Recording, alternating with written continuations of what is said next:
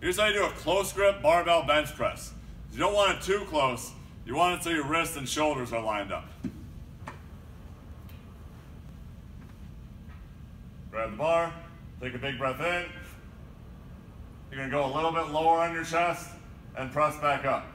Big breath in and back up. Notice how when I'm coming down, my shoulders aren't collapsing like this. Keep my shoulders tucked down and back, stretching your chest toward the bar as you push back up.